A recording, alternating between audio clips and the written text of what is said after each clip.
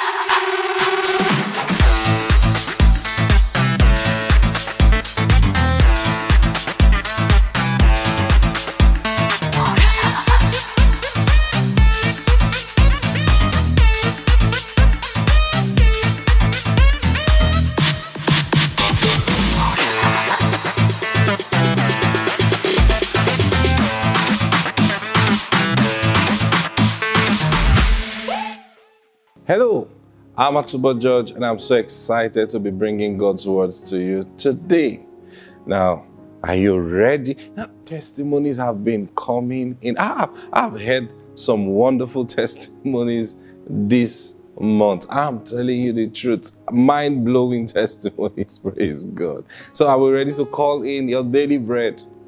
Can we go together? And say after me, say, Father, I receive today my daily bread.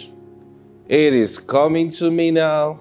In Jesus' name, amen. Praise God. Expect a miracle today. Ah, Nabuskia. I'll tell you something when, when we go into the broadcast for today. Father, we give you praise. Thank you for a new week. Holy Spirit, you have gone ahead of us this week and you will make every crooked path straight. And we're going to walk on straight paths, Lord. It is by your goodness that you bring us into your truth. And we are deeply grateful. Thank you, Lord. I declare today burdens are being lifted, yokes are being destroyed by the power of your Spirit. In the name of the Lord Jesus Christ. Amen. Man, praise God. Now, listen. We've been talking about Jesus being our high priest, and it's after the order of Melchizedek.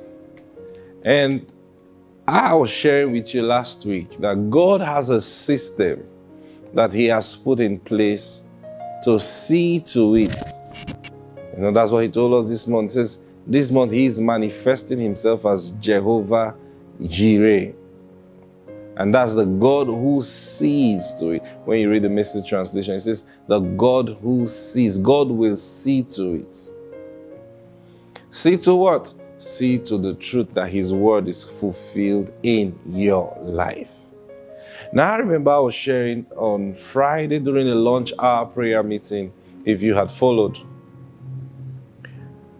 I shared this truth with you that there are two revelations that the church of Jesus Christ needs to come to terms with or needs to understand. And then when those two things are accomplished, then the end will come. Now, that is what the whole of heaven is waiting for. And what are those two things? Number one is what we have been dealing with. And what is that? That God can meet our needs. Now, every Christian believes God will meet their needs somehow. But what I'm talking about is getting to that place of full and complete reliance, where you, you've, you've gotten to that place of assurance that, see, if it is this matter, God is taking care of it. I know it. You come to that place of rest. Now, that's what God has called us into. Ah, when you relate with a lot of believers, you will understand one thing that they don't really understand the gospel message. They don't. So you find people arguing over certain things. You know, you find people, by the way, the, the, the first thing we need to come to terms with, the first revelation we need to accept, that's only two, is that God will meet our needs. The second one is that the immortality the grace or the power of immortality that God has given to us. What do I mean by that? We will come to that place of understanding that death is an enemy of God. We don't need to die before we go to heaven. We will come to the knowledge of that truth. Now, the first one is already gaining entrance now, of course, what we talk about come to the knowledge of the truth. It's not everybody that must believe it. But you see, most of the world today have come to accept now not not because they all believe but accept what we teach or preach that Jesus died see and then he died for us most of the world have come to believe even though not everyone in the world have believed it but you know what God said as a prophecy? He said, As I live, every knee will bow to me and every tongue will confess. Now, What's God saying? Everybody will come to the realization that this, His word, is true. It's true. So, most believers are coming to the place of understanding or hope. I use the word hope. Most are coming to the place of hope that God will meet their needs. Now, many believers believe that God can do miracles or God should do miracles. But when it comes to a personal, will God do this kind of miracle for you? You know, a, a preacher raised an issue about miracle money, and everywhere went ballistic. What is that? No, how can you say? How can you say? Now, now, understand something. What we call a miracle over here in heaven is a normal process. We call it a miracle here because we don't have perfect understanding of its operation. But you see, every miracle that God does over here, when you study it and spend time with the Spirit of God, you will understand the operation of that miracle. See, now I spent time teaching you last week uh, how Jesus is the high priest and he administers as the high priest after the order of Melchizedek, there is an aspect of his priesthood that administers to our needs. Now, that is an operation of heaven. In that operation, angels are involved.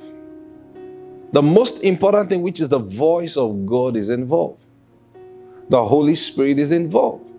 Jesus Himself is involved. See? So it's a whole operation.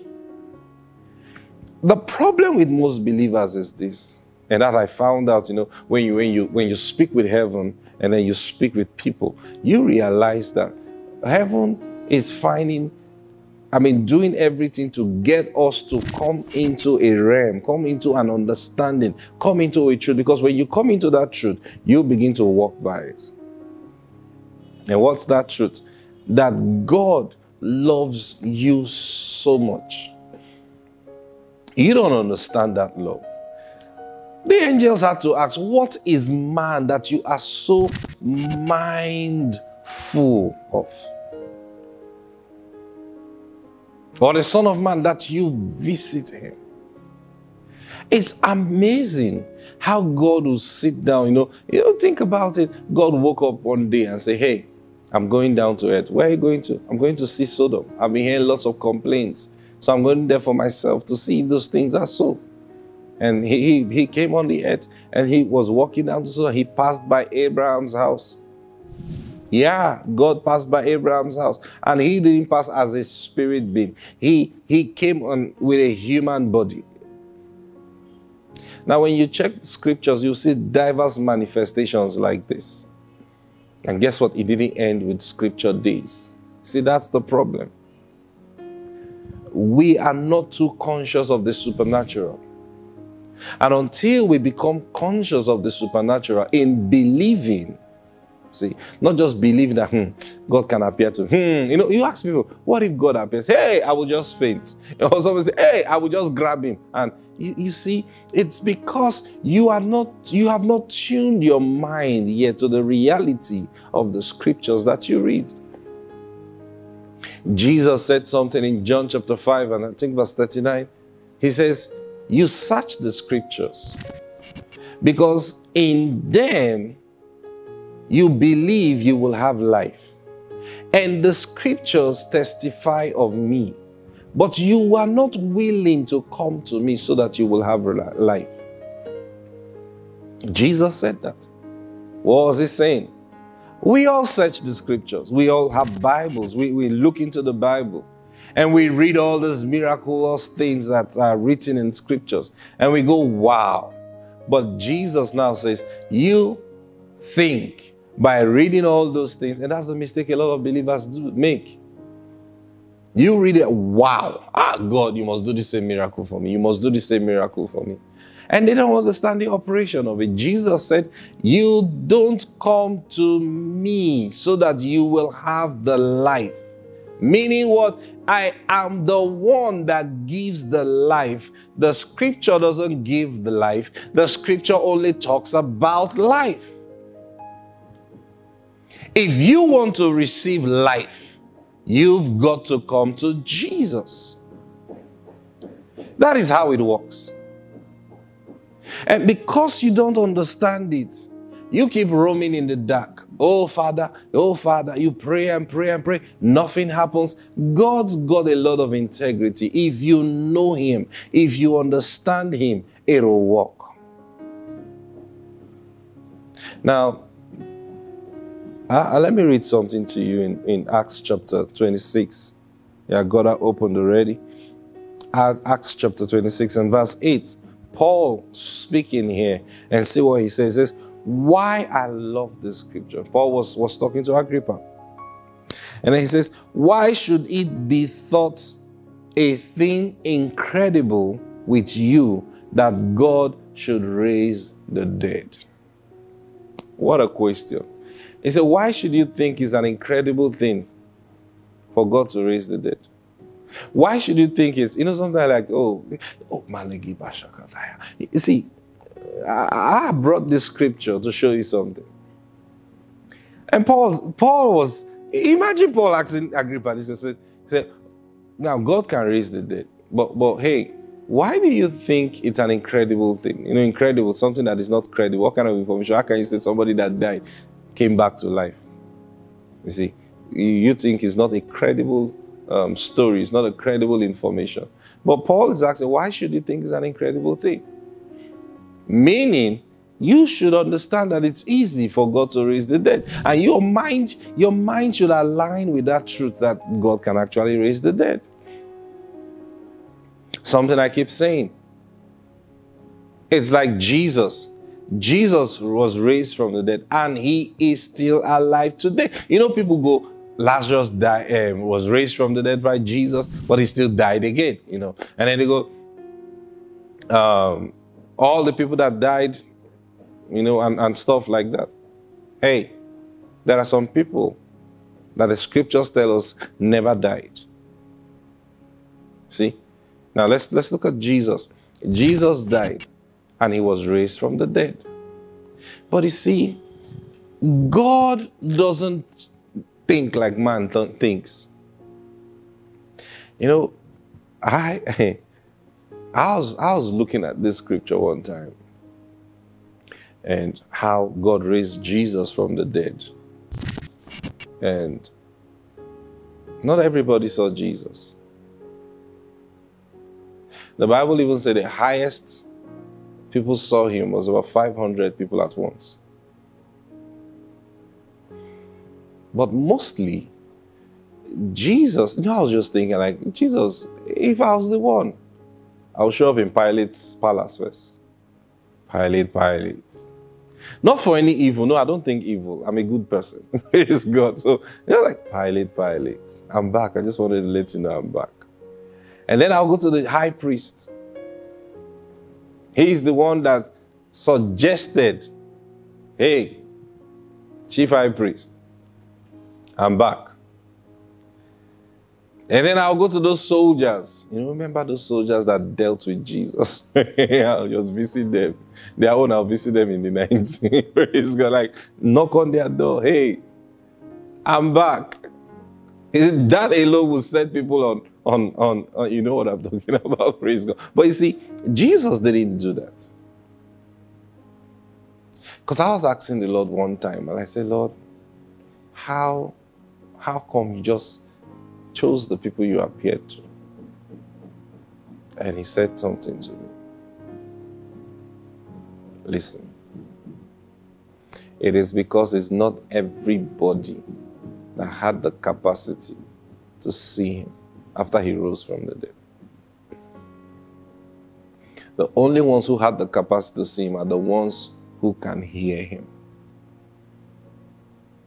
Because now he had gone back to his full glory, which is what?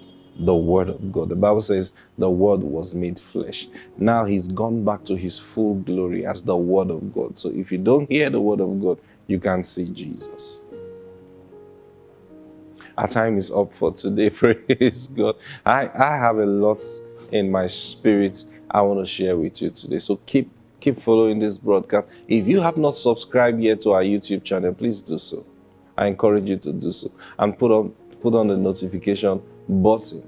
It's very important you do that. So that the moment the message is sent out, you will be the first among the first to receive it. Praise God. Listen, step out today having this mindset. He has gone ahead of you, and things will be well today. God bless you. I'll see you tomorrow. Bye bye.